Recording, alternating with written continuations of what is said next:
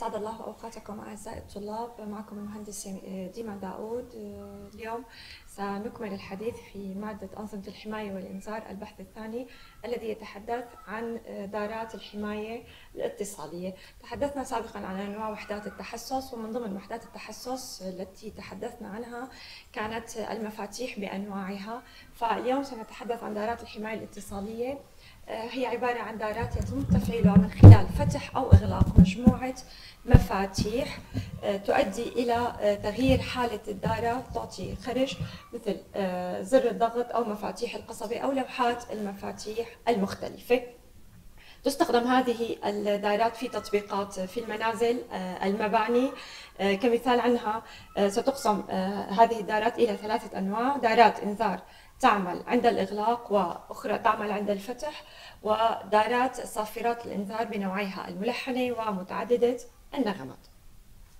دارات الإنذار التي تعمل عند الإغلاق هي في أساسها تعتمد على مفاتيح NC التي تحدثنا عنها سابقا حيث تكون الوضعية المستقرة لها هي آه، مفتوحة ولكن عند الضغط عليها يتم إغلاق الدارة و آه، تفعيلها. ميزات هذه الدارة عدم استجرار التيار في حالات العمل الطبيعية أما عيوبها فهي آه، على هذه المفاتيح أن تتحمل تيارات عالية تحتاج ل أيضا لأسلاك قصيرة لتجنب هبوط الكمون الكبير على هذه المفاتيح. ولكن من سيئاتها أيضا أنها لا تعطي دلالة على وجود الخطأ في حال قطع هذه المفاتيح أو التماسات. مثال عنها دارة جرس إنذار باستخدام ثايرستور مع مفتاح إعادة تعيين. في البداية هذه الدارة وحدة التحسس هي عبارة عن مجموعة مفاتيح موصولة على التسلسل يمكن أن تربط على الأبواب أو على النوافذ أو مداخل المنزل. وحدة التحسس هي عبارة عن مجموعة المفاتيح نسيت كما قلنا. آه، وحدة المعالجة تتمثل بمقسم الجهد بالإضافة إلى الثايرستور ووحدة الاستجابة كما تحدثنا في الدرس الماضي لدينا آه، الجرس من أنواع وحدات الاستجابة. في البداية عند الضغط على أحد المفاتيح عندما يتم اقتحام المنزل أو دخول آه، في غير الوضعية المعتادة سيتم توصيل تيار إلى هذه المقسم الجهد حيث سيؤمن الجهد الكافي أو نبضة القدح الكافية لعمل الثايروستور وبالتالي ستنخفض المقاومة الداخلية للثايروستور ويصبح في حالة تمرير للجرس الذي سيرن أو يعطيني آه، إنذار كدلالة على تفعيل هذه الدارة. سيستمر لدينا الإنذار حتى يتم آه، ضغط على مفتاح ال reset الذي يقطع تيار الثايرستور كما تحدثنا هنا وحدة التحسس مع مجموعة المفاتيح وحدة المعالجة ووحدة الاستجابة.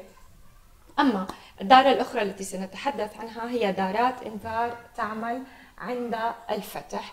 هذه الدارات تعتمد في أساسها على آه، مفاتيح سي المفاتيح الحالة الطبيعية لها أو الحالة الوضعية الأساسية وضعية الاستقرار الأساسية. هي مغلقة في هذه الحالة تكون الدارة يتم تأريض الترانزستور عبر مجموعة المفاتيح C أيضا كما قلنا هذه المفاتيح سوف تركب على الأبواب والمنافذ. في البداية سيتم تأريض الترانزستور آه، ليكون بحالة قطع آه، طالما الترانزستور في حالة قطع فإن ال relay لن تعمل وبالتالي الجرس لن يعمل.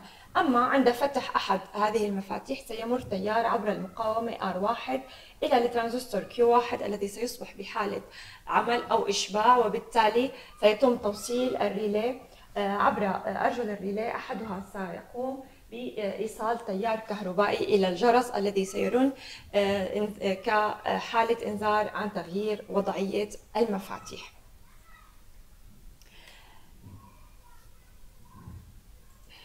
دارات الحماية باستخدام حلقة الإنذار.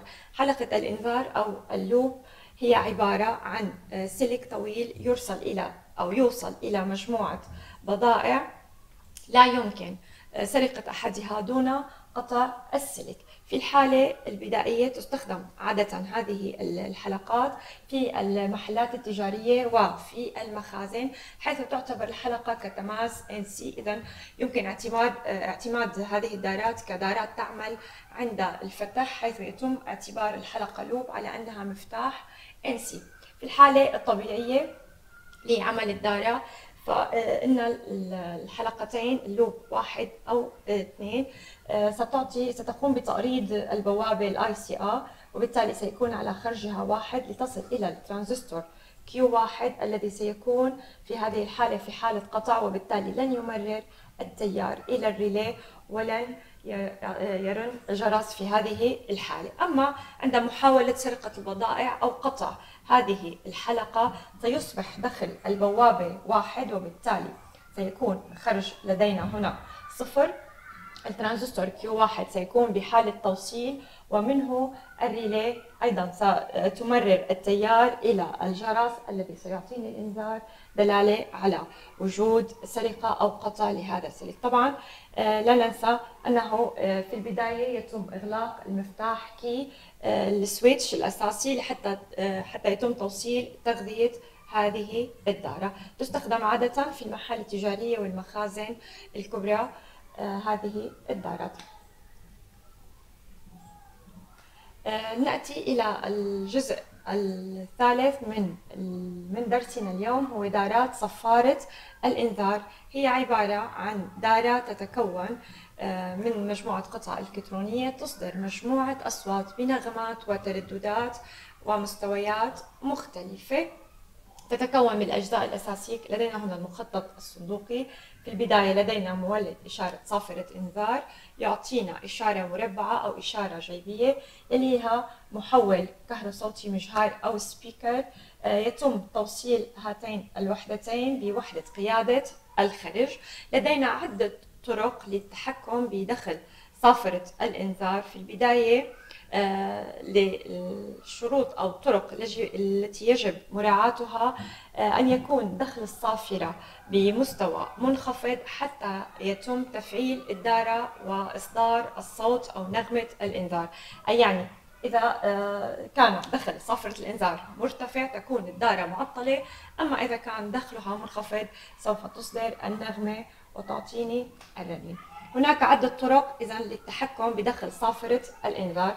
في الحالة البدائية لدينا هنا مفتاح S1 ومفتاح NO مفتوح. في الحالة الطبيعية تغذية أو دخل. هنا لدينا دخل صافرة الإنذار. دخل صافرة الإنذار يكون في هذه الحالة واحد منطقي أو عالي وبالتالي لن نحصل على خرج أو نغمة إلى أن يتم ضغط المفتاح S1 عندما يتم ضغط المفتاح S1 يصبح دخل صافرة الإنذار عبارة عن صفر منطقي أو دخل منخفض وبالتالي يتم تفعيل صافرة الإنذار وتعطيني نغمة الرنين المطلوبة.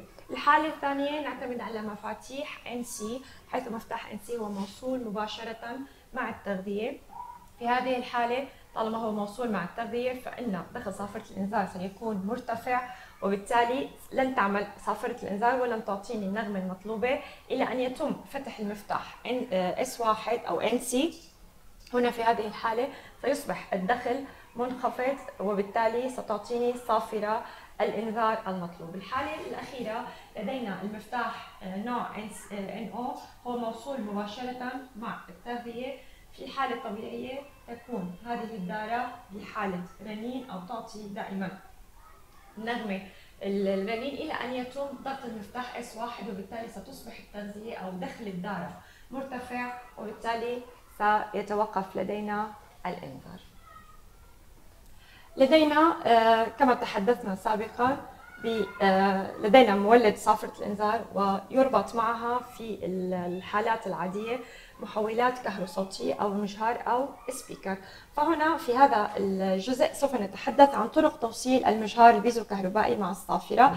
لدينا قيادة مباشرة يتم توصيل المجهر البيزو كهربائي مباشرة مع صافرة الإنذار. لدينا هنا الدخل مع تغذية الصافرة والمجهر البيزو الكهربائي الحالة الثانية يتم عن طريق قيادة أو القيادة عن طريق عازل وذلك لتخفيف الضجيج أو التشويش الممكن حدوثه فيتم توصيله عبر جسر يسمى عبر المقاومة عبر البوابة XOR عفوا مقصورة المداخل.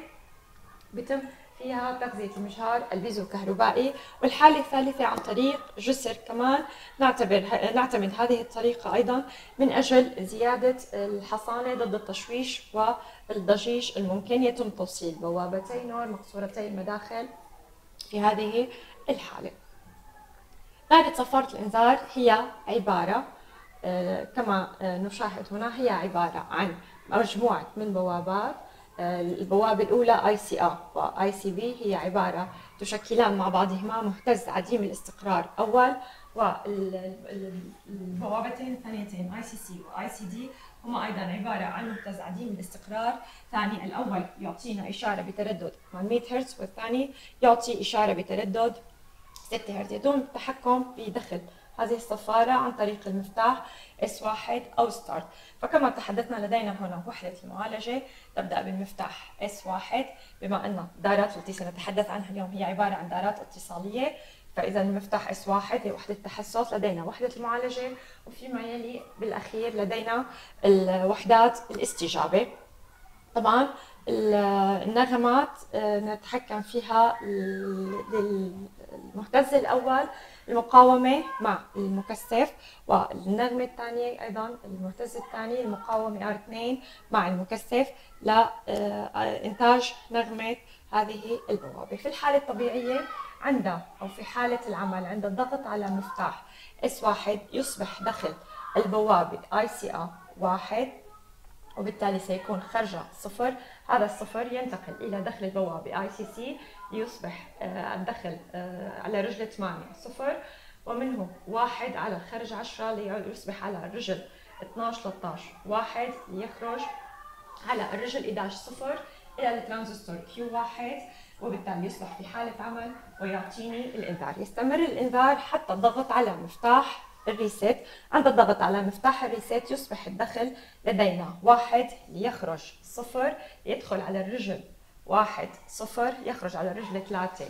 واحد ثمانية سيكون دخلها واحد. عشرة ستكون دخل منخفض صفر.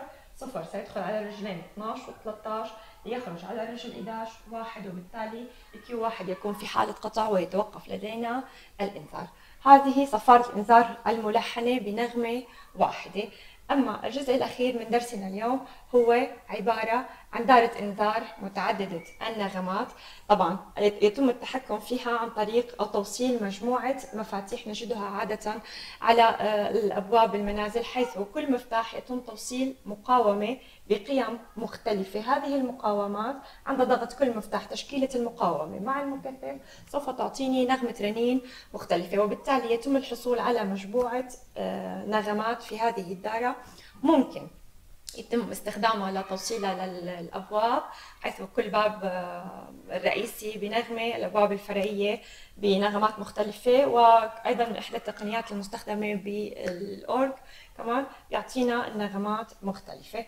عند الضغط على أي مفتاح من هذه المفاتيح؟ S1 أو S2 أو S3 سيكون الدخل واحد أو اثنين مرتفع ليعطي الخرج آه، على الخرج صفر تدخل إلى خمسة وستة صفر تخرج على رجل أربعة واحد وبالتالي ترانزستور Q واحد يصبح في حالة توصيل ويعطيني نغمة رنين. عند الضغط على المفتاح إس 2 أيضا نفس الحالة ولكن تصبح لدينا نغمة مختلفة في هذه الدارة بالنهاية أعزائي الطلاب نكون قد ختمنا الدرس فيما يتعلق بدارات الحماية الاتصالية حيث الوحدة الأساسية أو وحدة التحسس فيها هي عبارة عن المفاتيح. تحدثنا عن المفاتيح NC مع المفاتيح NO آه، ودرسنا مجموعة دارات عملية في هذه المادة. شكرا لكم لمتابعتكم أراكم في الدرس اللاحق بدارات أخرى.